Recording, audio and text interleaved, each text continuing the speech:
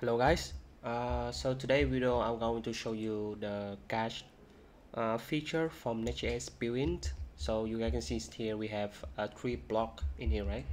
But here the thing is um, the thing is that in our uh, studio I already changed the information from three of them.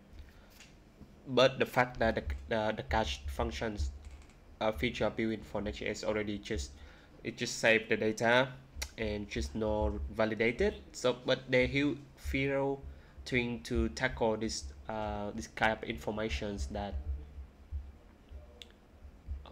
okay, sorry so just wait a little bit. But let me get through the code for you guys that he feel few thing to tackle for this one. So for example you, have uh, we have a get box right? So in here we can have this uh, get seconds to to revalidate like every second if if I understand like this way. So this this get hour just leave there. But in here we have the get seconds. Um, get second. Okay. So you guys see here the functions. They return the data from the client fetch and we pass in the query from the clock uh, from sanity. So this is the way we're going to fetch with data with sanity but there is different way. So this should in this example we I use this way. So in here we have revalidate we get second right? So this is the first method. So let's check that is our data already revalidate yet. Okay so it's already revalidates and update the data for our latest. And in here let me change few of the information for this one let make sure that it's work properly. It's Mason de Villa. Okay Mason de Villa. Mason de the new okay let's see. Mason the new school name. Yep I update I published it and in here let's check by refreshing the information. You see this is the the it's still using the same informations um, when we already cache. So that is kind of the issue. It's already updated data. So this series I are building up already nearly finished. Um, if you see want to do what what how I do it for with sanity just check the previous tutorial I have in my channel. But for today we're going to have uh, to solve this uh, uh, the block sessions I don't know why it takes so long. Yep. Okay so we have my son's new okay so this so let's reflect that to make sure that the data is the latest not having the cache so, okay so we can see that there is no cache in there. But they here is the second way. So for example if you guys don't have this kind of a, a right maybe you guys don't even need this uh, revalidate for the boss. So how you guys will tackle this stuff? So you guys can have a different approach approach. You guys go to the base that you guys using the the data. In here we have the guest spot right and we will have the way to work around that you guys can export const revalidate into zero like this.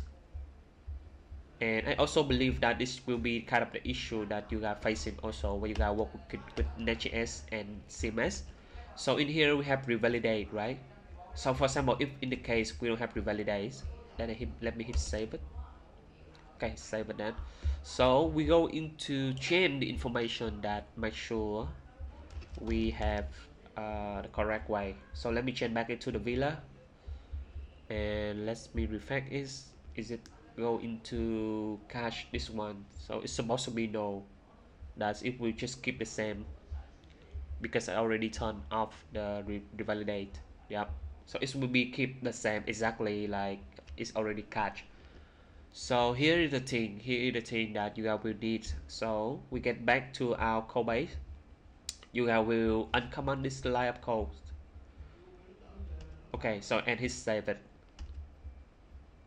Okay he's saved and so every the every file from the server side will going to have revalidate zero. But if you guys want to do specific one uh, for each page you can also put in the in the top of the page that it will be have revalidate into zero. So when we refresh this one the data the data should be updated into the villa for the name of it. Let me check let me check. Uh, yeah it should be yeah. So this is, will be the way two ways. But then we have few more way that you guys can use the header uh, from the Next.js configurations or you can go also can use in the Next.js config. That you set in the header itself and it's also uh, automatic turn off the revalidate for the each path specific path that you are want specific route sorry.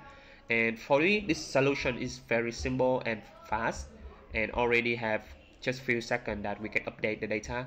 So for example with batches you guys need to update. For example we have the service here you guys can see here the image in here is still the old image but I already update the new image in here. For example we have the batch and we have the service. And the image is already uh, I already changed the image. Yeah this is the the the uh, architecture and interior image but you still see the old image show up. So that's why the cache is very uh, annoying uh, in my case but it's, it's good for the static and SEO but sometimes we need to uh, make sure that everything already there. So here because that you don't see is we have the revalidate into zero in this case but in this get service I guarantee that I also have the revalidate for this. Here it's also have the revalidate already built in the cache itself in, in, the, in the function itself but it's still not working properly. So in this case we also need that the uh, const revalidate in here and put on the top like this. Okay hit save it and it should work. Let me refresh this one more time. Yep. Cool. So I on my journey into 1000 subscriber but if this tip help, this tip help you guys solve your problems hit the subscribe buttons turn on the notifications leave a comment and we try to do my best whatever you guys need okay? Let me figure out. Okay so it's supposed to be having in here. Mm. yep that's it. That's what we need. And let's go to the block one. Let me check. Block one so you see here there is a little bit slowness uh, when I change the batches itself right? And I also believe because the cache function that help us saving the time. But some case that is not too efficiently. So for example in the work page we fetching the image uh, the video and then in here. So this is very cool tutorial I already done so I am currently working for the by block detail that will show the detail in here would we have the few more informations.